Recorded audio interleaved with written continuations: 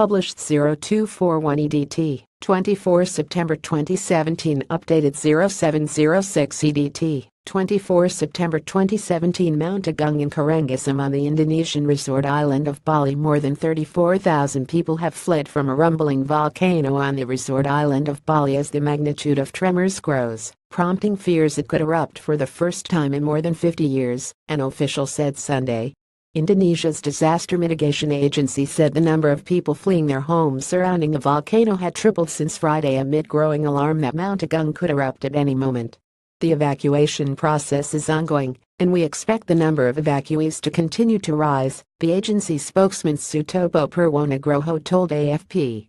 The volcano, the highest point in Bali and located about 75 kilometers 50 miles from the tourist hub of Kuta, has been rumbling since August. Officials announced the highest possible alert level on Friday following the increasing volcanic activity and urged people stay at least 9 kilometers away from the crater. I'm actually very worried to leave. I left my cows and pigs at home because we were ordered to vacate our village immediately, villager Naomi Nyomanasi who fled with her entire family told AFP.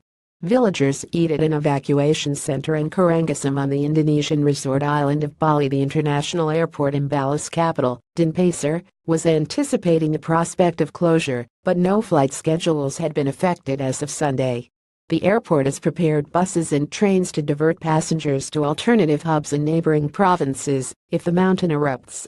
Flight disruptions due to drifting ash clouds are not uncommon in Indonesia which sits on a belt of seismic activity known as the Ring of Fire. Last year more than two dozen domestic and international flights to Bali's neighboring resort island Lombok were cancelled due to a drifting ash cloud from erupting Mount Rinjani. Bali officials said the island was still generally safe, but urged tourists to stay away from tourism spots located within the danger zone. Pura Besakih Temple, one of Bali's most prominent temples which is located just a few kilometers away from the mountain slopes, has been closed to visitors since Saturday. Tremors growing the Indonesian Center for Volcanology and Geological Hazard Mitigation said the tremors had grown more powerful on Sunday. The mountain has not erupted until now. The earthquakes are happening less frequently, but the magnitude is getting stronger, Gede Suantika, a senior volcanologist at the agency told AFP.